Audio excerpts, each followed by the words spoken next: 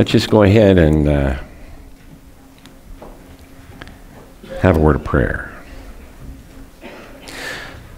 Lord, Psalm 20, uh, 33 says, For the, the word of the Lord is right, and all his works, all his work is done in truth. He loves righteousness and justice. By the word of the Lord the heavens were made, and let all the earth fear him. Let all the inhabitants of the world stand in awe of him. For he spoke and it was done. He commanded and it stood fast. The Lord brings the counsel of the nations to nothing and makes the plans of the people of no effect. The counsel of the Lord stands forever. The plans of his heart to all generations. Blessed is the nation whose God is the Lord. And Lord, we are so thankful for your word. We're so thankful that we have it in our language that and we can open it up and, and just uh, be blessed by its content. And Lord, we're thankful for our church family. And Lord, this morning, again, as we always do, we just pray that you would open the eyes of our understanding and help us to grasp what you'd like to teach us today. Lord, in these uncertain times, we pray for our nation and our nation's leaders. And, and Lord, we pray for our military people and our law enforcement people. And again, we pray that you'd protect them as, they protect us. And Father, again, help us to be appreciative of all that you've done in and through our lives. In Jesus' name, amen. You know, Ephesians is one of the one of the I think one of the most significant books in our Bible. And uh, when we were in in Bible college, that was the one book we had to memorize. We had to, to memorize the book of Ephesians, and it was a tremendous blessing. But um, this morning we're going to continue on with our, our study here, and the, the key verse of in the book of Ephesians that we're going to be looking at, Ephesians 1 9 through 10 having made known to us the mystery of his will according to his good pleasure, which he purposed in himself, that in the dispensation of the fullness of times he might gather together in one all things in Christ, both which are in heaven and which are on earth in him. And uh, of course, the, the theme of the book is unity, and the key word we're going to find is together. And last uh, time I mentioned that many of our New Testament books have an Old Testament counterpart. And the epistle to uh, Romans has Exodus, Hebrews has Leviticus, and Ephesians has Joshua. And the book of Joshua tells how the Jews um, came into the land of Canaan to take possession of their physical inheritance. And Ephesians, the New Testament counterpart, speaks of no physical inheritance for the church age believer, Ephesians tells us of our spiritual inheritance. And we find that the children of Israel never took possession of all the land that they were promised. They never possessed their entire inheritance. And God uh, provided all that they needed to accomplish that task, but in spite of the, the promises and the encouragement from, from the Lord, they failed. In Joshua 1 7, it says, Only be strong and very courageous, that you may observe to do according to all the law which Moses my servant commanded you. Do not turn from it to the right hand or the left, that you may prosper wherever you go. And that, uh, that was that they would prosper in getting their inheritance, taking their inheritance. God uh, promised to be with them in that his promises to be with him in that day was just as real as his promises to us are now. And the tragedy of the believer today is that is the same as it was for, for the Israelite. Most believers never take possession of what God has provided for them. And this is uh, one of the things that becomes obvious as we are going to move through the book of Ephesians. I also mentioned last time that Ephesians is divided up into two, two segments. It's divided right down the middle. Chapters 1 through 3 gives us an understanding of who we are in Christ, and chapters 4 through 6 gives, uh, gives us uh, the outcome of that understanding and how it is to affect our lives. Well, we didn't get very far in our in our first session in the in the book. Only we got up to chapter or to verse 7. And Ephesians is not a book that you can rush through, and we're going to find that as we move on. Um, but let's look at um, Ephesians 1 7 before we move into new territory. Whoops. I, I forgot that, didn't we? Well, anyway, as we move through Ephesians, we need to pay special attention to the phrases such as in Christ and in Him. Very important phrases. And we're going to find these phrases pop up all the time as we move through there. But let's look, look again at Ephesians 1 7. It says, In Him we have redemption through His blood, the forgiveness of sins according to the riches of His grace and notice uh, that it says in him, and Paul is focusing on what we have in Christ, and in him we have redemption.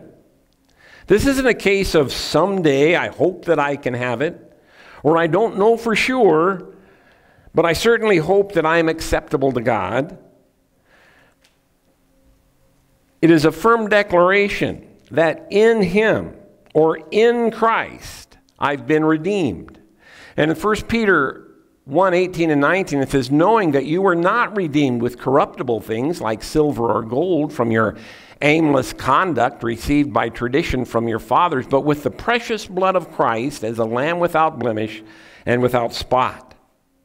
The apostle says, We were not redeemed with corruptible things, but with the precious blood of Christ.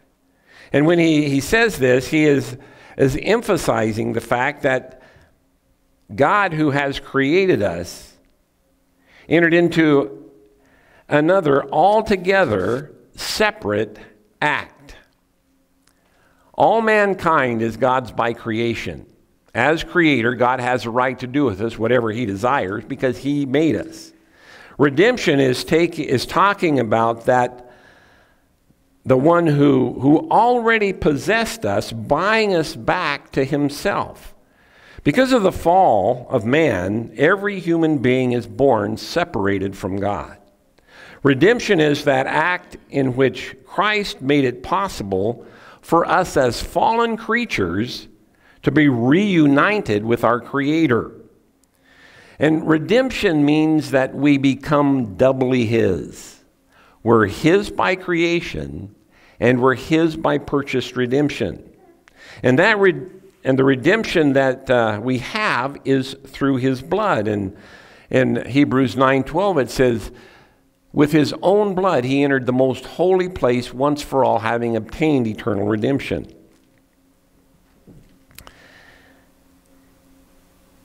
He poured out his life blood for us in the form, or, or, his life for us in the form of his blood on the cross. And the, in Hebrews 12, 2, it says, Looking unto Jesus, the author and finisher of our faith, who for the joy that was set before him endured the cross, despising the shame, and is sat down at the right hand of the throne of God. Our salvation is not of ourselves. God is both the author and the finisher of it. So look again at Ephesians 1 7. In him we have redemption through his blood, the forgiveness of sins, according to the riches of his grace. We have been redeemed and we have been forgiven. And now we have total access to God. Not because we deserve it, but simply because God in eternity past purposed in his heart to extend grace to his fallen creation. Our salvation is not something we work for. It's not something that we someday hope to obtain. If, we, if we've placed our faith and trust in the finished work of Christ, it's already ours. And Paul understood from the beginning that, that this was the message that had been given to him by God. He understood that he was to preach of God's forgiveness and the inheritance made available to all who believe. Now, last week we looked at, uh, at what Jesus told Paul at the time of his conversion on the Damascus Road. And if you look at Acts 26, 17 through 18, it says, I will deliver you from the Jewish people as well as from the Gentiles, to whom I now send you to open their eyes in order to turn them from darkness to light and from the power of Satan to God, that they may receive forgiveness of sins and an inheritance among those who are sanctified by faith in me. As individuals who have put their faith in Christ, you and I stand before God redeemed and forgiven with an inheritance. And that inheritance is not just a promise of eternity with God after we die. Our inheritance in, in Christ begins the second we accept Him as Savior. Let's look again at Ephesians 1 7. In him we have redemption through his blood, the forgiveness of sins, according to the riches of his grace. We are accepted on the basis of what Christ has done for us. And when it says we have forgiveness of sin according to the riches of his grace, this doesn't mean that, uh, that the Lord just puts up with us. I mentioned this last time. It's not that God is obligated by what Christ did on the cross to tolerate our, our presence. We are accepted, embraced, given an inheritance, and welcomed into the family. Now, look now at, at Ephesians 1 7 and 8 together. In him we have redemption through his blood, the forgiveness of sins, according to the riches of his grace which he made to abound toward us in all wisdom and prudence. Well, what does it mean that his grace he made to abound toward us? Well, I mentioned last week that many Bible teachers struggle with grace and see it as an unhealthy focus. Yet if you if you read the epistles of Paul, you better get used to grace because that's his message. And look at what he says here. This grace is not rationed out a little at a time, it's lavished on us. Let's look at Ephesians uh, 7 and 8 through the New, New American Standard Version. In him we have redemption through his blood, the forgiveness of our trespasses according to the riches of his grace, which he lavished upon us with all wisdom and insight. So, the riches of his grace is lavished upon us. It's difficult to understand why some, some Bible teachers struggle with this concept. Because this is Paul's message.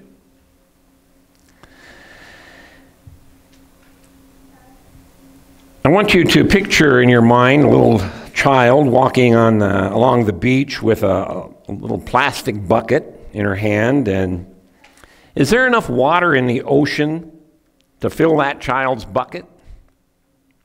Well, in the same way, God has enough grace to fill your need. And in regard to His grace, God does not deal with us from a position of want, but from a position of abundance. And now, as I mentioned before, there are those who feel that this teaching on grace creates a lax form of Christian living. If that's the case, why would Christ lavish upon us, lavish it upon us in all wisdom and insight? Grace is not something that hinders spiritual growth, but it enhances it. This is why God, in His wisdom, has it abound toward us.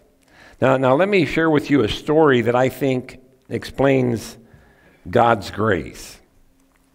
The setting is a Roman slave market with many slaves, both male and female, old and young, that have been brought there to be sold. There's a beautiful young woman who is to be auctioned off with the rest. And these slaves are waiting in line to be sold to the highest bidder. And uh, the time came for this young woman to be placed on the auction block. And one of the men who starts bidding for her is a well known landowner who is extremely vile and cruel. And every time this woman looks at this man who is attempting to buy her, she shudders visibly. But there's another gentleman, an older gentleman, in the very back of the crowd that he starts bidding also. And every time this landowner increases his bid, this older gentleman in the back, he raises it by one dollar. And finally, the landowner just gives up. And the older gentleman went and paid for this young woman. And immediately after purchasing her, he wrote out a paper of manumission, giving her her freedom. And when he handed her the paper, she realized what it was. And she was so overcome. She fell on her knees before him and she said, I will serve you forever. And he said, Well, you don't, you don't understand. You're free. I release you. And she repeated the second time, But I will serve you forever. And he said, I don't want to be your owner. I want to be your father. This is a picture of grace. The only difference is most people don't see that they are already a slave to a vile and cruel owner. In God's grace, we as believers have been set free. But more than that, we've been adopted into his family. All too often, we've not completely realized the, the hopelessness and helplessness we are at in our lost condition. So we fail to understand the full extent of the freedom that we have. We must come to see that our salvation is much more than, than just going, uh, not going to hell. Ephesians 1 6 says, To the praise of the glory of his grace, by which he has made us accepted in the beloved. When we come to recognize what God's grace has provided for us, when we come to realize the extent of our salvation, we fall on our knees before God and exclaim, I will serve you forever. This is why God makes grace abound toward us with all wisdom and prudence. Now let's look at Galatians or uh, Ephesians 1 7 through 10. In him we have redemption through his blood, the forgiveness of sins according to the riches of his grace, which he made to abound toward us in all wisdom and prudence, having made known to us the mystery of his will according to his good pleasure which he purposed in himself that in the dispensation of the fullness of times he might gather together in one all things in Christ, both which are in heaven and which are on earth in him. And let's take a good look at the highlighted phrase here having made known to us the mystery of his will. Now, we could stop right here for a while and we could go around the room and I could ask each of you what do you think the mystery of God's will is? And no doubt we would uh, have uh, about as many answers as there are people in the room, but many people live their lives thinking that God's will is very difficult to figure out. And I used to be amazed when we were, uh, we were at the Mission Training Center how many of our students, and these were all Bible college graduates, would come into the, the training center and fret and worry about finding God's will in regard to what country they were to go and serve in. And the mission at that time worked in 27 different countries. They all wanted desperately to serve God, but they were all worried about missing His will by going to the wrong country. And I, I, I couldn't figure it out. I said, Well, are you worried you're going to lead the wrong people to Christ? Many people see something mystical about God's will when there's nothing mystical at all. I'd often tell these students who were, were struggling in this way, well, look at James 1 5. If any of you lacks wisdom, let him ask of God who gives to all men liberally without reproach, and it will be given to him. I don't know if you've ever done that. I've done it on several occasions. I'll tell you one thing you figure out right away when you pray for wisdom you don't feel any wiser. You get on your knees and you pray for wisdom, and you get up feeling just as dumb as before you bow down. But God doesn't say He's going to make you feel wise. He says, I'm going to give you wisdom. And so I'd tell them, I'd say, after you do this, if you're not sure what country to go to, get on your knees and ask the Lord, and then get up and make a decision. When Janet and I decided to go to Indonesia, we didn't even know where the country was. We had to get a map out and figure out where the place was because we were not sure where to go either, but we looked at the needs. And that's what I told them. Look at what the needs are in the field and then make a decision. Indonesia had 300 language groups and just a handful of missionaries. So, um,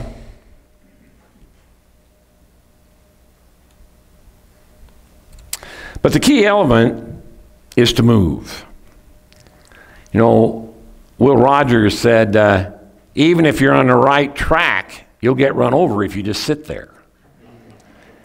And that's, that's, there's a lot of truth to that. You got to move. And finding God's will should never be difficult for the believer. Often people struggling with God's will struggle because they already know what His will is for them, they just don't want to do it. But let's move on. Ephesians 1 9 through 10, it says, Having made known to us the mystery of his will according to his good pleasure, which he purposed in himself, that in the dispensation of the fullness of times he might gather together in one all things in Christ, both which are in heaven and which are on earth in him. So he says, having made known to us the mystery of his will. Now, Paul is saying here that the mystery of his will has already been made known to each of us. And this, there's, so there's nothing mystical here. And notice that he made it, has made this known to us according to his good pleasure. Finding God's will in our lives is not difficult because communication is a choice that God made in our behalf. God doesn't have to communicate with us. He's not obligated to let us in on what his will is.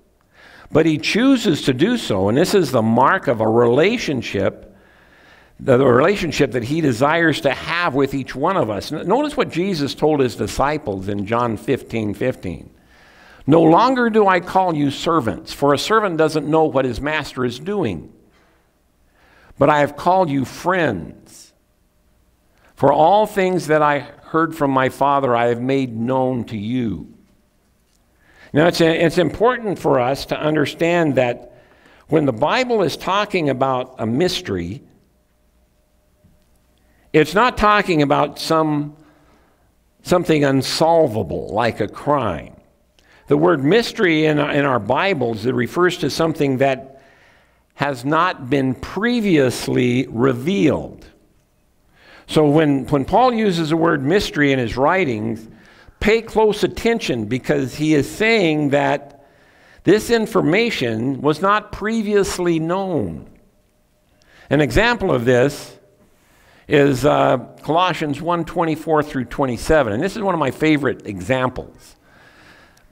I, I now rejoice in my sufferings for you and fill up in my flesh what is lacking in the afflictions of Christ for the sake of his body, which is the church of which I became a minister according to the, the stewardship from God, which was given to me for you. To fulfill the Word of God, the mystery which has been hidden from ages and from generations, but now has been revealed to His saints.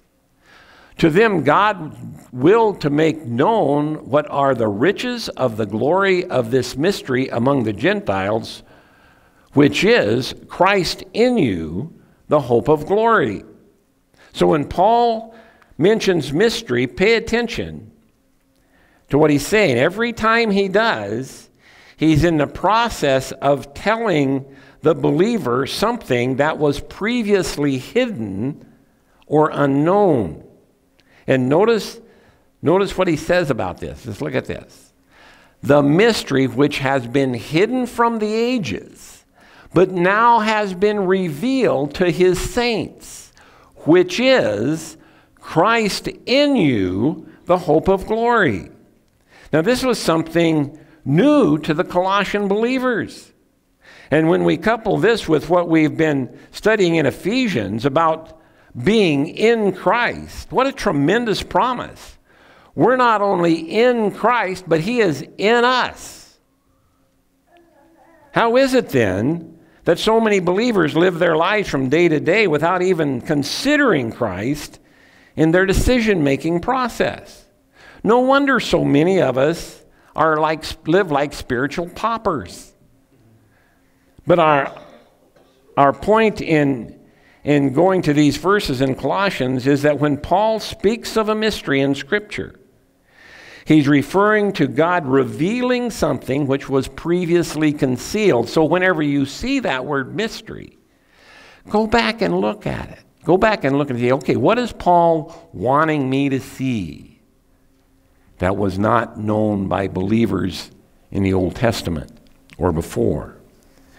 And this is consistent with uh, the new relationship that Jesus spoke about with his disciples in John 15 15 again. No longer do I call you servants, for a servant doesn't know what his master is doing, but I've called you friends. For all things that I heard from my Father, I've made known to you. Well, let, us uh, move on. Look again at Ephesians 1 9 and 10. Having made known to us the mystery of his will according to his good pleasure, which he purposed in himself, that in the dispensation of the fullness of times he might gather together in one all things in Christ, both which are in heaven and which are on earth in him. And let's look at this highlighted phrase in the dispensation of the fullness of times. Now, this is referring to a time when all things will be brought under the rule of Christ. And this is looking forward to when Jesus comes again. And at that time, all the rulers and authorities of this world will, be, will subject themselves to him. There will be no hunger, no pain, no injustice any longer. This is when every knee will bow and every tongue confess that Jesus is Lord. And this will be a great day for you and I as children of the King. And notice that everything will be brought together in Him. And in Ephesians 1 11 and 12, it says, In him also we have obtained an inheritance, being predestined according to the purpose of him who works all things according to the counsel of his will, that we who first trusted in Christ should be to the praise of his glory. And notice again these two, two little words in him. It is in him or in Christ before whom one day every knee will bow, every tongue will confess that he is Lord. And it is in him that we have obtained an inheritance. And again, this is past tense, not future tense. The inheritance is already ours. It's ours because we were being predestined, we're being predestined according to the purpose of Him who works all things according to the counsel of His will. Keep in mind that predestination is God's predetermining not where I will be, but what I will be. God has already predetermined what you're going to be.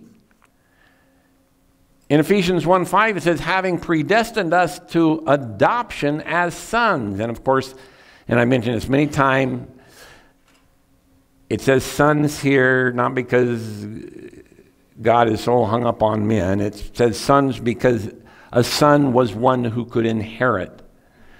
So it has been, we have been predestined to us, he predestined us to adoption as sons by Jesus Christ to himself according to the good pleasure of his will. God predetermined that everyone who accepts Christ will be adopted as part of his family.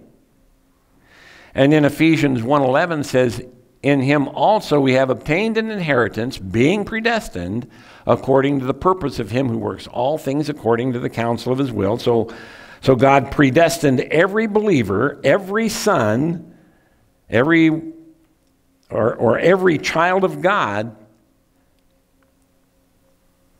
to have an inheritance. And in Romans 8 29, it says, For whom he foreknew, he also predestined to be conformed to the image of his Son, that he might be the firstborn among many brethren. So we see from these verses that God has predetermined that every person who accepts Christ will be adopted as his child. Every child will have an inheritance and be conformed to the image of Christ.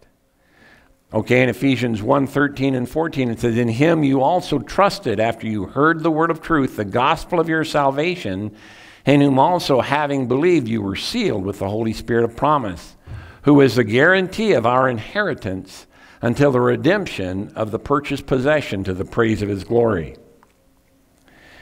In him you also trusted after you heard the word of truth. Up to now, Paul has been, been talking about our inheritance in Him. But we would have nothing if we hadn't first placed our trust in Him. Well, what does it mean to place our trust in Christ? The New Testament uh, presents the, the Lord Jesus as the object of saving faith. So our, our salvation is in, in Him. And as we have seen earlier, our salvation is totally from God. God is the author and finisher of our faith.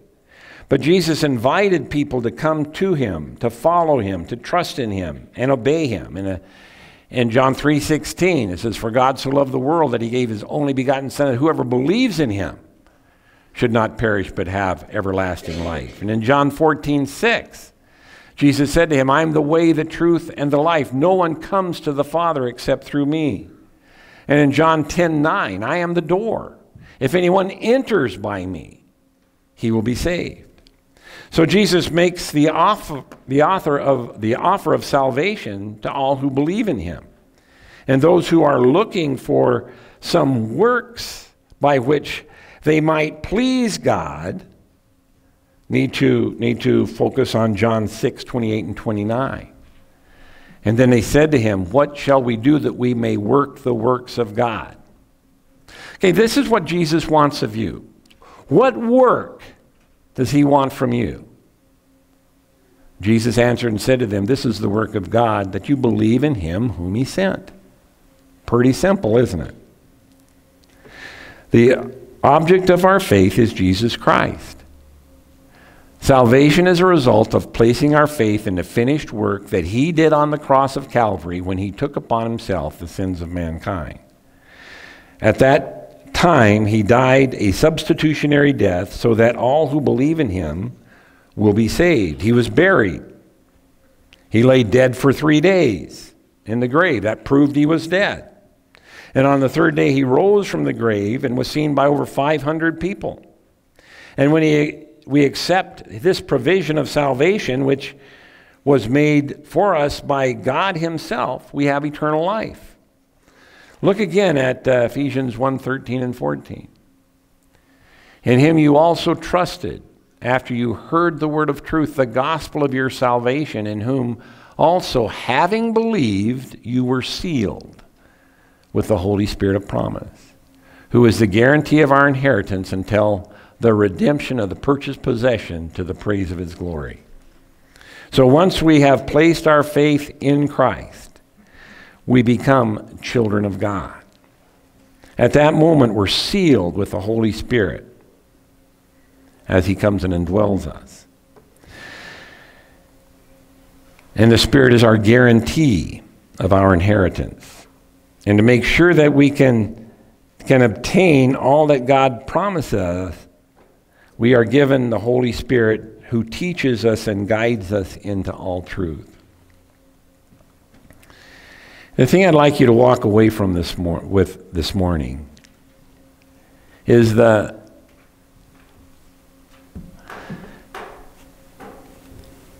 the realization is as you come to know more of Jesus Christ, as you walk more with Him, as you come to understand more of that abundant grace you can't help but want to serve Him. You can't help but want to, to be more involved with Him. I'm not saying more involved with the church or you know you want to give more money or whatever. You just want to know more about your Savior. You know, Paul said that I may know him and the power of his resurrection and the fellowship of his suffering. Did Paul know the Lord? Absolutely. But that's what the Christian life is all about. The Christian life isn't doing, the Christian life is being. The Christian life is not doing a bunch of good deeds. The Christian life is being a child of God. He doesn't want you to go out and be doing the life. He wants you being his child. And I think it's an important thing to, to understand. Well, this is Communion Sunday.